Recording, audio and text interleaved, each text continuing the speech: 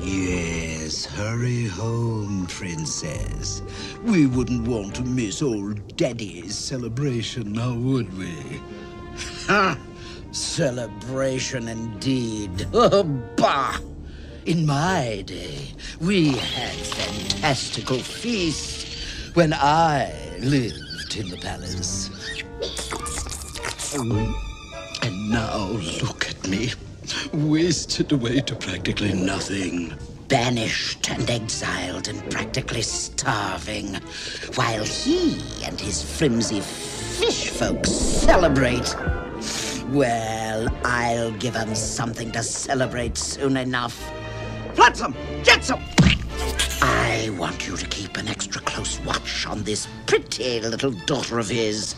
She may be the key to Triton's undoing.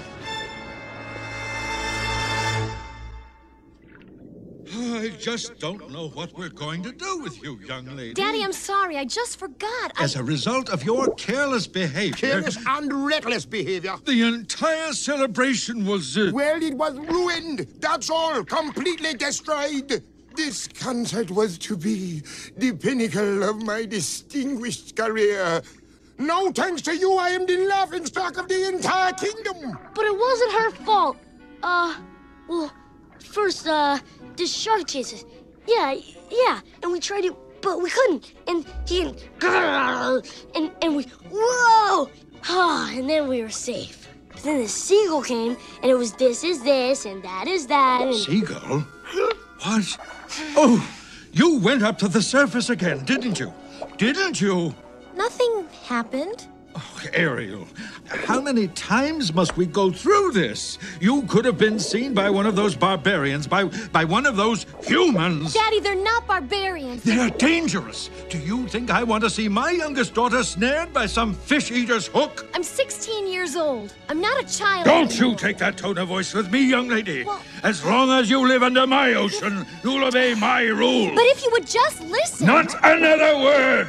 And I am never, never to hear of you going to the surface again. Is that clear?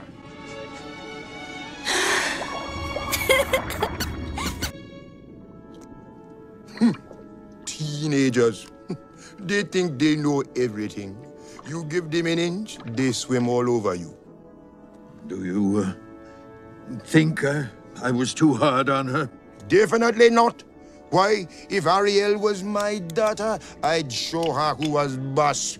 None of this flitting to the surface and other such nonsense. No, sir, I'd keep her under tight control. You're absolutely right, Sebastian. Of course. Ariel needs constant supervision. Constant. Someone to watch over her, to keep her out of trouble. All the time. And you are just the to do it. How do I get myself into these situations? I should be writing symphonies, not tagging along after some headstrong teenager. Hmm? What is that girl up to?